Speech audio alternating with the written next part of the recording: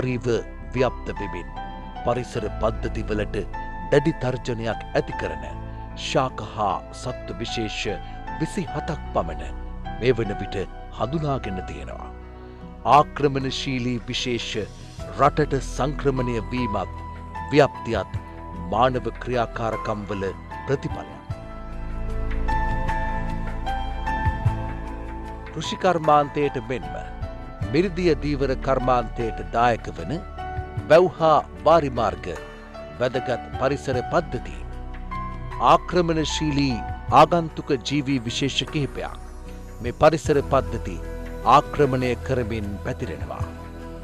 ජපන් ජබර සැල්වීනියා පාතේනියම් ගිනිතන හම්බුපන් අගමුල නැති පැල් යෝධ නිදිකුම්බා ටැංකි සුද්දා මන්නයා පුල්ලි මගුරා මේ ජීවී විශේෂ අතර ප්‍රධාන වෙනවා.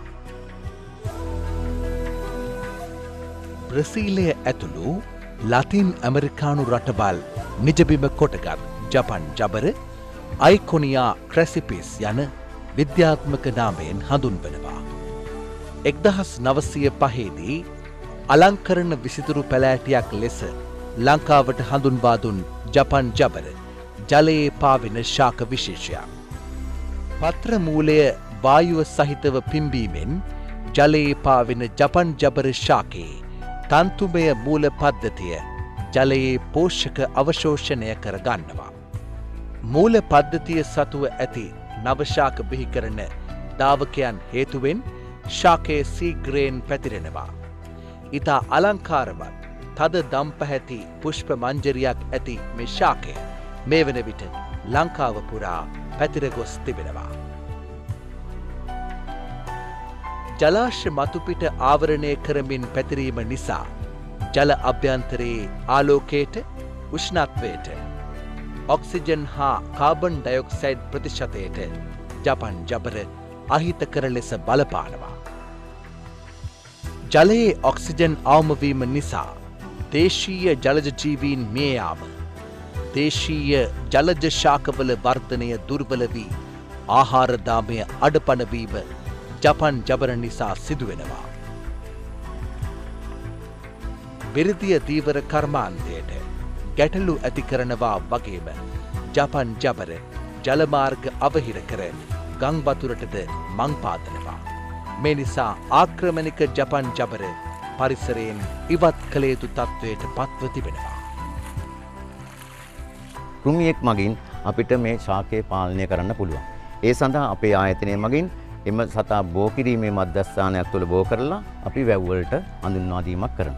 මේ ඉන්නේ වැඩුණු කෘමියා මෙයා කරන්නේ ශාකයේ ලපටි පත්‍ර ආහාරයට ගන්නවා. මේ තින්නේ ආහාරයට ගත්ත ශාක කොටස් පුරා කාලා තියෙන්නේ. මේ ඇතුලේ තමයි එයා බිත්තර දාන්නේ. ඊළඟට ඒ බිත්තර පුපුරලා කීටයක් එනවා. කීටයා තමයි මේකේ ලොකුම හානිය ශාකයට කරන්නේ. මේ කඳ තුළට තමයි කීටයා ඇතුල් වෙන්නේ ඒ කඳ තුළට ඇතුල් වෙලා එයා සම්පූර්ණයෙන්ම කඳ ආහාරයට ගන්න. ඒ කඳ විනාශ වීම නිසා ශාකය මිය යනවා.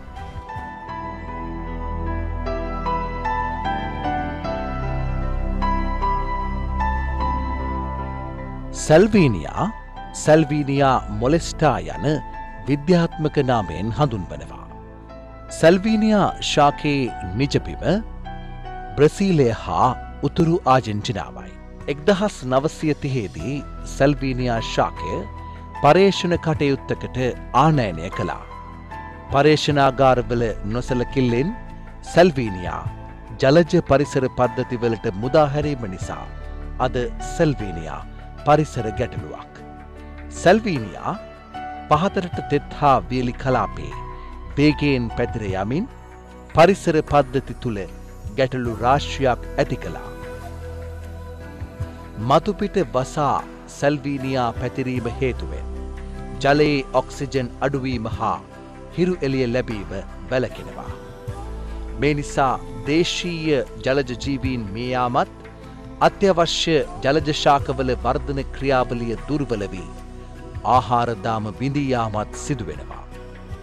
ඉහළ උත්ස්වේදනයක් ඇති සැල්වීනියා නිසා වාශ්පීකරණය වැඩිවී ජලාශවල ජලහානියක් ඇතිවෙනවා. ජලාශ්‍ය වසා සැල්වීනියා ව්‍යප්තවීම නිසා වාරිහා දීවර කර්මාන්තයටද බලවත් තර්ජනයක් ඇති කරනවා. සැල්වීනියා මගින් ජලමාර්ග අවහිරවීම නිසා ගංවතුර වැනි පාරිසරික විපත් ඇතිවෙනවා. ශාකපත්‍රවල මදුරුවන් බෝවීමට අවස්ථාවක් සැලසෙන නිසා සෞඛ්‍ය ගැටලුද ඇතිවෙනවා. ජලයේ මතුපිට පාවමින් ව්‍යාප්ත වන සැල්වීනියා ශාකයේ ගිලී පවතින පත්‍ර මුල් ලෙස ක්‍රියා කරනවා. මේ නිසා ආක්‍රමණික සැල්වීනියා පරිසරයෙන් ඉවත් කළේදු තත්ත්වයට පත්ව තිබෙනවා. සැල්වීනයා පාලනයක් යොදාගන්නේ අපි පුංචි කුරුමිනිය. ඒ කුරුමිනියා මේ සැල්වීනයා ශාකයේ ලපටි පත්‍ර ආදමනවා. එයා ඒ සිදුරු තුළ බිත්තර දානවා. බිත්තර පුපුරල එන කීටයා සැල්වීනයා ශාකයේ කඳ තුළට යනවා. හඳ තුළදී කඳ ආහාරයට ගත්තාම මේ ශාකය දුමුරු පාට වෙනවා. දුමුරු පාට වෙලා මැරෙනවා. පාතීනියම් ශාකය පාතීනියම් හිස්ටරෝෆොරස් යන විද්‍යාත්මක නාමයෙන් හඳුන්වනවා. එක්දහස් නවසය අසූ හතේදී ඉන්දියන් හමුදාව ගෙනයන ලද එළුවන් හෝ යන්ත්‍රෝපකරන මගින් පාතීනියම් අපරටේ ව්‍යප්තව තිබෙනවා. පාතීනියම් පළමුුවෙන්ම හඳුනාගෙන ඇත්තේ වෞනියාව දිස්ත්‍රික්කේ. දැන් උතුරු වියලි ශුෂ්ක කලාපී මුඩු ඉඩම් හා වාරිමාර්ග දෙපස බහුලව දකින්නට ලැබෙනවා. කඳ අග්‍රේ හටගන්නා සුදු පැහැ මලින් හටගන්නා බීජ ජලය සුළඟ සතුන් වාහන හා සත්ව ආහාර මගින් ශාකයේ බීජ ව්‍යප්ත කරනවා. අනෙකුත් ශාක මැඩ පවත්වමින් වර්ධනය වී දේශීය ශාක විනාශ කිරීම නිසා ජෛව විවිධත්වයට බරපතල හානියක් ඇති කරනවා. නැවත ගොඩනැගිය නොහැකි ආකාරයට වන ලැහැබ් සහ පිටාර තැනිවල ස්වභාවික පැවැත්ම පාතීනියම් ව්‍යප්තිය නිසා වෙනස් වෙනවා. පාතීනියම් ව්‍යප්තවීමෙන් උලාකන සතුන්ට ප්‍රයෝජනවත් දේශීය තෘණවර්ග හා පැලෑටි විනාශවීමත් දේශීය ඖෂධ පැලෑටි වදවීයාමත් සිදුවෙනවා. පාතීනියම් වල විශස්වභාවය නිසා මිනිසුන්ට වගේම සතුන්ටද රෝග රාශ්‍රයක් බැලඳීමේ හැකියාව තිබෙනවා. පාතීනියම් ස්වභාවික පරිසරයේ ජයෝ විවිධත්වයට ඇති කළ බලපෑම අති විශාලයි. මේ නිසා ව්‍යප්තව ඇති පරිසර පද්ධතිවලින් පාතීනියම් ඉවත් කිරීම වහාම සිදු කළ යුතුයි.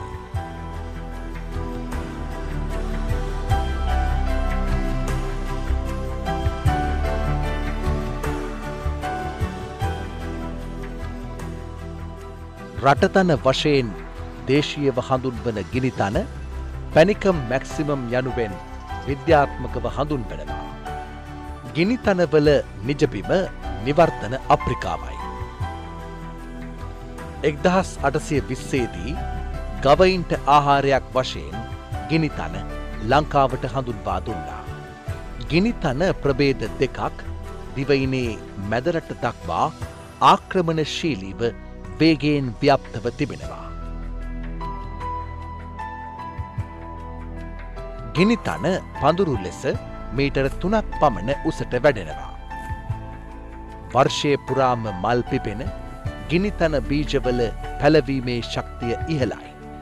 ගිනිතන කෘෂි වගාවන්ට හා ස්වභාවික ශාකවලට අහිත කර රෝග හා පලිබෝධ වාහකයෙක් වගාබිම්වල පැතිරී පසේ තෙතමනය හා පෝෂක බූලද්‍රව්‍ය වේගයෙන් අවශෝෂණය කරමින් බෝග වගාවන්ට දැඩි තර්ජනයක් එල්ල කරනවා. වනාන්තර ගිනි ගැනීමට හා ගින්න වේගෙන් ව්‍යප්තවීමට ගිනිතන උදව් වෙනවා.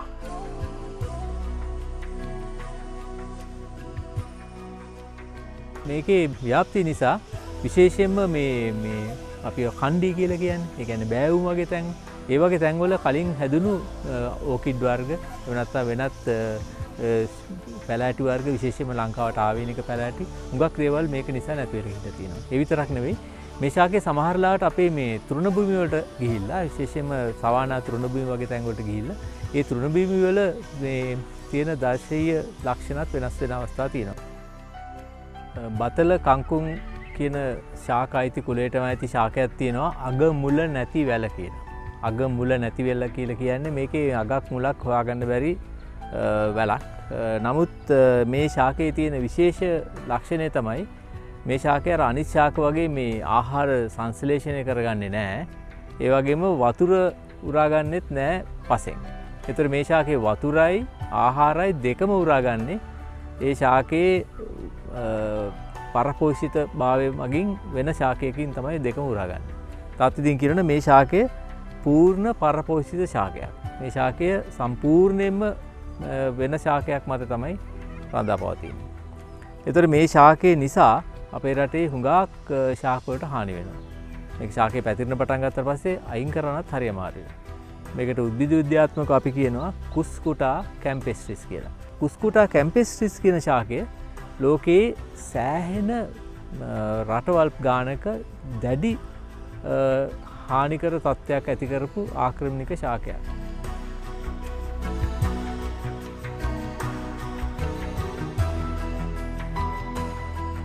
හම්බුපන් ටයිෆා ඇන්ගුස්ටි ෆොලියා යන විද්‍යාත්මක නාමයෙන් හඳුන්වනවා. නිජබිම යුරේසියාවයි. හම්බුපන් ගස මීටර එකයි දශම පහත් දෙකයි දශම පහත් අතර උසට වැඩෙනවා.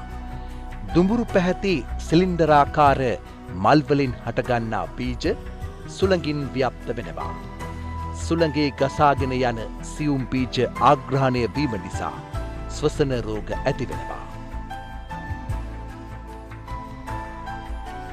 බුන්දල ජාතික වනෝද්‍යානයත් පෙරලාසන්න ජලාශවලත් රට අභ්‍යන්තරයේ පිහිටි ජලාශවලත් හම්බුපන් ව්‍යප්තව තිබෙනවා. හම්බුපන් ස්වභාවික පරිසරයේ තිබෙන දේශීය විශේෂ විස්ථාපනය කරනවා. හම්බුපන් ශාකය නිසා ජලාශවල ජලමාර්ග අවහිරවීමෙන් දීවර හා කෘෂිකර්මාබ්දයට විශාල බලපෑමක් ඇති කරනවා. හම්බුපන් කුඩා පැළය අතින් ඉදිරිය හැකි නමුත් වැඩුණු ශාක යාන්ත්‍රිකව උදුරා දැමිය යුතුයි. හම්බුපන් ශාකයේ ඇති ආක්‍රමණශීලී බව හා එය ජෛව විවිධත්වයට ඇති කළ බලපෑම නිසා ශාකය වහාම මර්ධනය කළ යුතුයි. යෝධ නිදිකුම්බා මිමෝසා ෆිග්‍රා යන විද්‍යාත්මක නමින් හඳුන්වනවා. නිවර්තන දකුණු සහ මධ්‍යම ඇමරිකාව යෝධ නිදිකුම්බාවල නිජබිමයි. එක්දහස් නවසය හැත්තහත වසරේදී මහවැලි ගගේ ඉවුරුකාදනය වැලැක්වීම සඳහා යෝධ නිදිකුම්බා හඳුන්වාදී තිබෙනවා. රනිල කුලයේ කටු සහිත යෝධ නිදිකුම්බා ශාකය මේටර හතරක් පමණ උසට වැඩෙනවා. තිවුණු කටු සහිත පත්‍ර ස්පර්ශයට සංවේදී වෙනවා. රෝස නිල් රතු හෝ කහපැහැයෙන් යුත් මලින් හටගන්නා බීජ ජලයෙන් සතුන් හා වාහන මගින් ව්‍යප්ත වෙනවා. කාලයත් සමග වෙනත් දේශීය ශාක සමග වාසස්ථාන සඳහා වූ තරගයෙන් ජයගත් මේ ශාකය. ගන වන ලැහැබ බවට වර්ධනය වීමෙන් දේශීය ශාක පරිසරයෙන් තුරන් කර තියෙනවා. හොත්මලේ වික්ටෝරයා රන්දනිගල රන්ටබේ සහ බෝතැන ජලාසවල දැන්ට යෝධනතිකුම්බා ව්‍යාප්තවෙල තින ජලාසවල ශ්‍රී ලංකා මහවලි අධිකාරිය පරිසර සහ වන සංරක්ෂණාන්සේ මගින් මෙම ප්‍රදේශවල ජීයි තාක්ෂණය භාවිතා කරමින් සම්පූර්ණයම සිතියම් ගත කරා. කොච්චර් ප්‍රදේශයක යෝධනකුම්බ ව්‍යාප්ත වෙලා තියෙනද කියලා.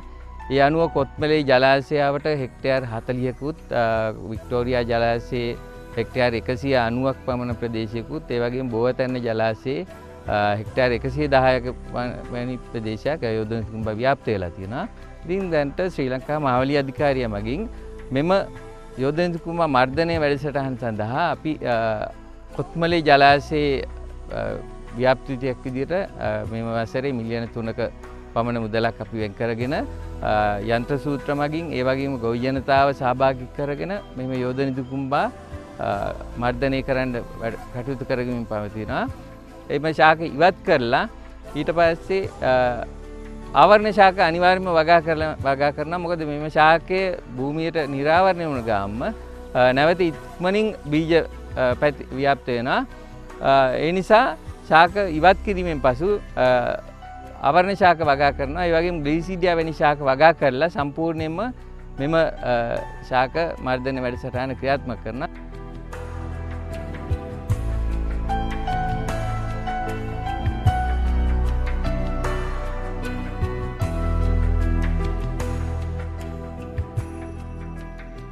මන්්‍යයා චිටාලා ඕනේටා යන විද්‍යාත්මක නාමයෙන් හඳුන්වනවා. නිවර්තන ආසියාවේ තායිලන්තය ලාෝසේ සහ ඉන්දු චීන මිටියාවද මන්නයාගේ නිජපිමයි. එක්දහස් නවසය අනුවේදී පමණ සුරතල් මත්සයෙක් ලෙස ආනයනය කළ මන්නයා නොසලකිල්ල නිසා ස්වභාවික පරිසරයට ව්‍යප්ත වුණා. වල්ග වරල සමග එක්වන දිගු ගුදවරලක් පිහිටා තිබීම නිසා. දේශීය සියලු මත්සයින්ගෙන් වෙන්කර හඳුනාගත හැකි. වැඩුන මන්්‍යයාගේ සුදු පැහැති රවුමක් මැද කළු තිත් පිහිටා තිබෙනවා. වයසින් වැඩෙත්ම මේ තිත් කුඩා වෙනවා. තරුණ මසුන්ගේ තිත් වෙනුවට ශරීරය පුරා ඉරි රටාවක් පිහිටා තිබෙනවා. මන්්‍යයා සෙන්ටිමීටර සීයක් පමණ දිගට වර්ධනය වෙනවා. දියවන්නා ඔය බොල්ගොඩ ජලාශය මතුගම දොඩංගොඩ ප්‍රදේශවල ජලාශ හා වගුරු බිම්වල දැන් මන්නයා ජීවත් වෙනවා. නිශාචර ජීවී සතුන් පමණක් ආහාරයට ගන්නා මන්නයා දේශීය මත්ස්‍ය විශේෂයන්ට විලෝපිකයෙක්. මේ හේතුවෙන් මන්නයා ස්වභාවික පරිසර පද්ධතිවලින් ඉවත් කිරීම අත්‍යවශ්‍ය කටයුත්තක්.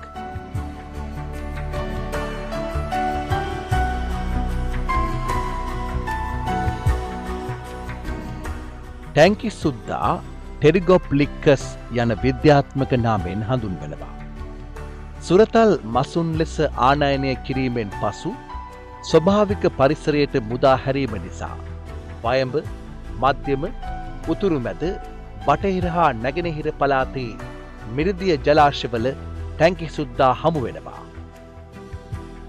ශරීරය කටු සහිත පලකයන්ගෙන් වැසී තිබෙන ටැංකි සුද්දාගේ උදරය පුරා ඇති සුදු පුල් පිළිවෙලකට නැතිව එක්වී පණු හැඩයක් ලබාදී තිබෙනවා. උදර් මුකයක් සහ ගන දත්වැනි කටු සහිත ලයවරල් ටැංකි සුද්දාගේ විශේෂ ලක්ෂණයි. උපරිම වශයෙන් සෙන්ටිමීටර් පණහක් පමණ වැඩෙන ටැංකි සුද්දා. ඇල්ගි හා ජලජ පැලෑටි විශාල ප්‍රමාණයක් ආහාරයට ගන්නවා. මේ නිසා දේශීය මසුන්ට ආහාර සඳහා ගැටලු ඇතිවෙනවා. ටැංකි සුද්දා ජලාශ පතුලේ ජීවත් වන පණුවන් කෘමීන් පිලඋන් වැනි අපෘෂ්ට වංශිකයන් ගොදුරු කර ගැනීම නිසා පරිස්සරයේ අභ්‍යන්තර සමතුලිතතාවය බිඳ වැටෙනවා. පිරිමි මත්ස්‍යයන් ජලාශ ඉවුරුවල ගුල්හැරීම ටැංකි සුද්දා ඇති කරන තවත් පරිසර ගැටලුවක්. ඒ වගේම ටැංකි සුද්දා මිර්දිය දීවර කර්මාන්තයටද ප්‍රබල තර්ජනයක්.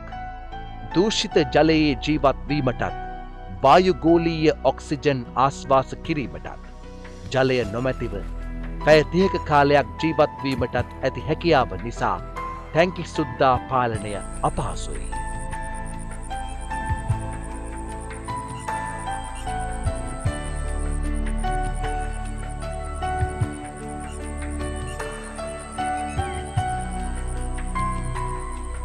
දැල් ඇදපුහම දැලේ ටැංකි සුද්ද වදුනහම එවුන් ගලවද්දි දැල් ඉරෙන ගොඩක්. ආය අත්තුවාල වෙනවා. අපේ කාලේ ගොඩක් ඒකට ගත වෙනවා. ඒකෙන් අපිට මේ මාළු වැදිල්ලත් අඩු වෙනවා ඉතින්. ටැංකි සුද්ද වැදුනා දැල් ඔක්කොම පොතා ගන්නවානේ පොතා ගත්තට පස්සේ මාළු වදින්නේ නැහැ. මේ ප්‍රශ්නය සැලවුනාම අපි ගොඩක් බැලුවා. මේ ජලාශවල මේ දීවර කර්මාන්තය කරමින් පවතින ජලාශවල මේ තියෙන ප්‍රශ්නයට විසඳුමක් හොයන්නේ කොහොමද කියලා. අපි බැලුවා සත්ව ආහාරය මත්ස්‍ය ආහාරයක් හැටියට මේක හදාගන්න පුළුවන්ද කියලා. ටැංකි සුද්දන්ව ගෙනහිල්ලා ඒක පවුඩර් එකක් බවට පත් කරලා මත්ස්‍ය ආහාරයට මිශ්‍ර කරලා අපි වගා කරන මත්සයකුට ඒක කණ්ඩ දීලා අපි ඒකට යොදාගත්තේ මොදා කියන මත්සය ඉතා සාර්ථකයි. අනිත් ෆිශ්මිල් එක සංසන්ධනය කරලා බලනකොට මෙහි ගුණාත්මක බව වැඩි. ඊට පස්සේ අපි බැලුව මේකෙන් මේ වැව්වලින් මේ සත්වයා කොහොමද මේ ඉක්මනින් අයින් කරන්නේ? මේක විශාල පරිශ්‍රමයක් දැරිය යුතු දෙයක්. මේකට අපි දීවරය එකතු කරගත යුතු ඒ සම්බන්ධයෙන් අපි පොඩි සැලැස්මක් ඇද අවුරුද්දක් හෝ දෙකක්.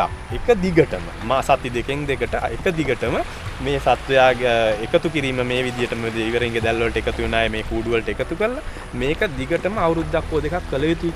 එහෙම නැතුව මේක ලේසි වැඩක් නෙමෙයි. මාස දෙක තුනක් වීමෙන් කර යුතු කළ හැකි වැඩක් නෙවෙයි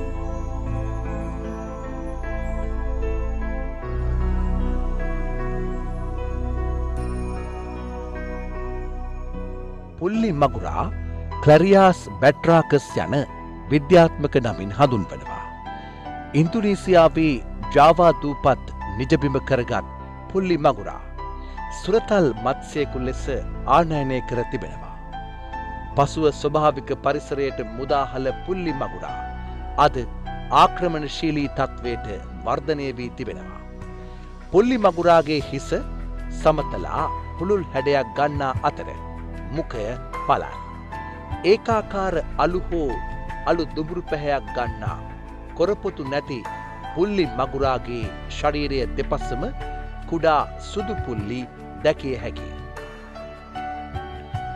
වායුගෝලීය ඔක්සිජන් ආශ්වාස කිරීමේ හැකියාව ඇති පුල්ලි මගුරා සාමාන්‍යයෙන් සෙන්ටිමීටර් විසිහයක් පමණ දිගට වැඩෙනවා. දේශීය මගුරු මත්ස්‍යයන් අභිබවා සීග්‍රයෙන් ව්‍යප්ත වන පුල්ලි මගුරා මේ වන විට වයඹ හා බස්නාහිර ප්‍රදේශවලින් වාර්තා වෙනවා. ඉස්ගෙඩියන් කෘමි පිලවුන් ගැඩවිලුන් බෙල්ලන් ඉස්සන් හා කුඩා මසුන් පුල්ලි මගුරා විසින් ගොදුරු කර ගැනීම නිසා පරිසරයේ සමතුලිත බව විනාශ වෙනවා.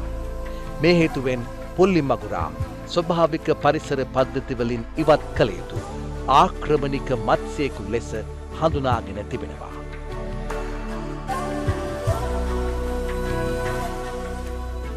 ආක්‍රමණශීලී ආගන්තුක ජීවීන්ගෙන් තොර ශ්‍රී ලංකාවක අවශ්‍යතාවය හා ඒ සඳහා ජනතාව දැනුවත් කිරීම සවිබල ගැන්වීම උනන්දු කිරීම හා ආකල්පමය වෙනසක් ඇතිකිරීම අනිවාරයෙන්ම කළ යුතුයි. එමෙන්ම ආගන්තුක ජීවී විශේෂ හඳුනා ගැනීම හා පාලනය සහ ඔවුන් මර්ධනය සඳහා කටයුතු කළේතුයි. ආක්‍රමණකාරී ආගන්තුක ශාක හා සත්වයෙන් හඳුනා ගැනීම හා පාලනය කිරීම ජනතා වගකීමක් මෙන්ම යුතුකමක්ද වෙනවා.